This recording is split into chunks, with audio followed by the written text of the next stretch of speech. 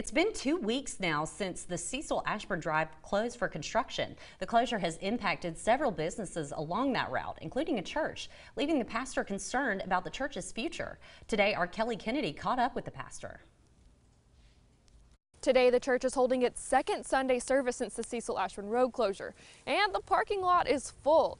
So far, Pastor Byron Brown says everything is looking good. Our people have been making it to church pretty well. It's limited a few people from coming, but for the most part, everybody's been making the, the journey pretty well and pretty smooth. The closure is impacting about half of the church's members. It's added probably an average of 15, 20, 25 minutes on some of their commutes over.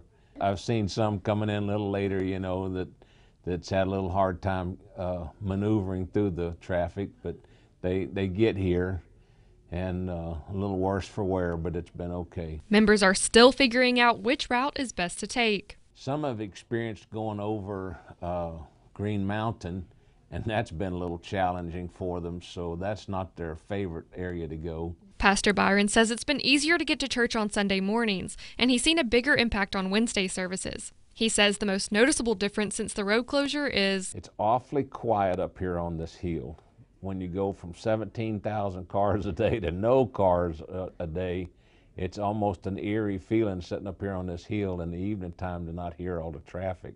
Pastor Byron says the closure isn't as horrific as he thought it would be. Putting the Valley First, Kelly Kennedy, WZDX News. Since the closure, the church has started a program called Good Neighbor. They plan to head out to local restaurants to help give more business to places struggling because of the construction.